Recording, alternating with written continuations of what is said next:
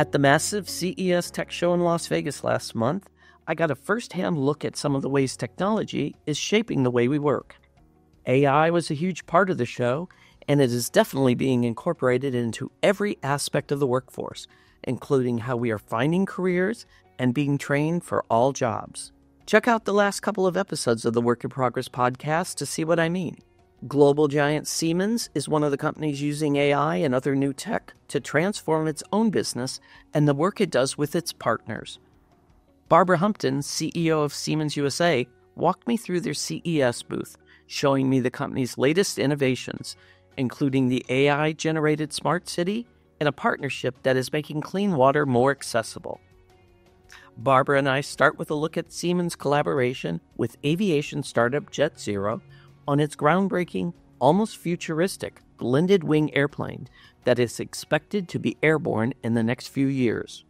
Siemens helped with the engineering and design of the jet, which will be built in the U.S., creating an estimated 10,000 jobs. What we're featuring in our booth again this year is Siemens' work through others. And JetZero is a fantastic example of a customer who's using our digital tools to support their manufacturing. But not just the digital side. This is where the digital and the real world come together. So JetZero chose Siemens, frankly, in their words, because it was the best. The best to support their early startup, the engineering, the design, and then to transition into the manufacturing. What we'll be announcing in just a few months is a location for a new greenfield manufacturing site where this team will take the digital twin of this fantastic aircraft and actually begin production. And that production is going to ramp up quickly because there's going to be huge demand for this. This is, an, is a plane that's built to a, you see, a blended wing design. Yeah. I'm looking at it as we as we talk about it. Yeah. This blended wing design. Think about the airplanes we all ride in today. It's a tube with wings attached, and the engine's hanging off there's a tail in the back to give stability, and all of that causes drag. Here, with a blended wing, the air flows smoothly over the body. It has inherent stability. The amazing thing is, you can reduce the emissions of the aircraft by 50%.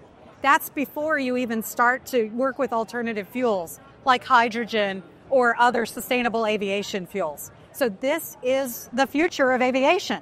What's really cool about this is what I understand is that this is going to be built in the United States. Yes. State to be announced soon. Yeah. But it's going to create jobs.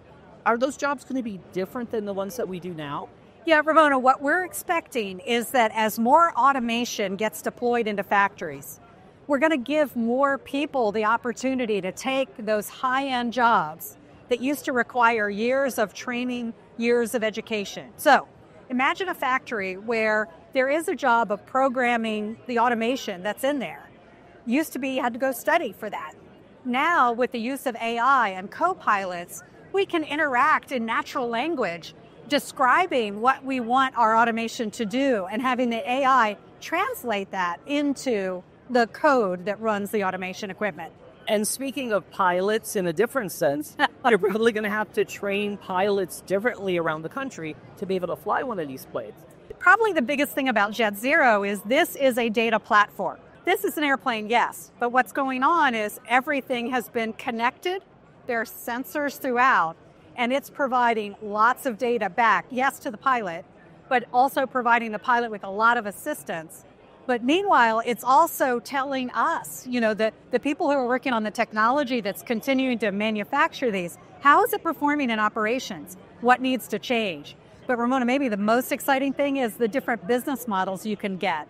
Maybe airlines don't need to go buy their own aircraft. Maybe this is an opportunity for the manufacturer to own a fleet and to be able to provide transportation as a service. And so you're working with JetZero to design that for the start to finish on what your model for your manufacturing will be. Yep. And then do you build it yourselves or are you partnering on it? How does that work? We provide the technology that enables the design and the manufacturing and ultimately the operations. It's really interesting because Tom O'Leary, the CEO of JetZero, was chatting with us the other night and he said, People are coming to us all the time saying, What are you doing with AI? What are you doing with AI? And he said, We're not focused on that right now. We're focused on building the airplane. But we're partnered with Siemens because Siemens is figuring out how AI makes the design process more efficient and makes manufacturing more capable. So we're going to look for the announcement coming in a few months. Yeah. They're going to start building. When do we expect to see this plane in the air? 2030 is when, by 2030, we're expecting to see these planes. You know what's going on though? Here's a big challenge. You know that aircraft, any of our flight, needs to be certified. And we've got regulatory agencies like the FAA. Here's the cool thing about this JetZero is working very closely with the FAA so they get access to all that data as the design work is going on, as manufacturing is going on. It can shorten the certification processes as well. Excellent. So walk with me. We're going to walk this way and we're going to go and check out something else you got going over here. So, part of what you are doing here at the Siemens booth at CES is highlighting customer case studies. Tell us about this. Yeah, what's one of the biggest problems we're going to deal with as a planet in the coming years? Access to fresh water. And Wayout is a company that has a new approach. They're using technology that enables them to purify water and make this readily available in water distressed areas. And the cool thing about it is, once again, they're deploying those same tools. What, what can you do with a digital twin? What can you do as you simulate and prepare for the manufacturing? Wayout is a great example where suddenly that technology sounds wonky. what? This is IT related things? And now here it is applied to the real world. And I mean, I just love to say it. This is AI for real.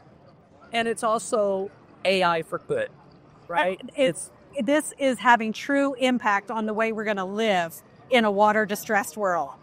And in the past, I think people would have said, Siemens, you're just a manufacturing company. But I think over the last few years, as we've talked about all of this, it's very clear you're a tech company. Ramona, we're actually uh, forging the path for a new tech sector. Think about industrial AI. And I know there's a lot of chatter going on about the impact of AI around the world and the way it's affecting our personal lives, the way we get entertained, the way we shop, uh, the way we interact with computers on our desktops. What's really cool is you take those same tools and apply them to these real world problems. Suddenly you're able to solve issues that frankly were impossible to solve before simply because there was this proliferation of data. How do you make sense of all the data that's out there? Well, AI is the perfect answer to that. So let's talk about sustainability. And this is a sustainable idea, but also over here we have the smart city yeah. that you guys are doing, which is really pretty incredible. So why don't you tell us a little bit about what's going on here? Siemensstadt. I, you may know, and I don't know how many of your viewers know, that Siemens was actually born in Berlin. we like to say it would have been a garage startup if garages had been invented. but Actually, it was born in a stable in Berlin. The Werner von Siemens and his brother began with a workshop behind their home. And over the years, Berlin was a really important location for the company. In fact, there was a section of the city, a very industrial section, that was called Siemensstadt. And over the years, its use had changed and things had fallen into a bit of decline. And the big question was what do we do now? What do we do next? Siemens stepped forward and said, This is a perfect opportunity to demonstrate the power of the smart city. So here you can see first a digital twin of the city to be constructed.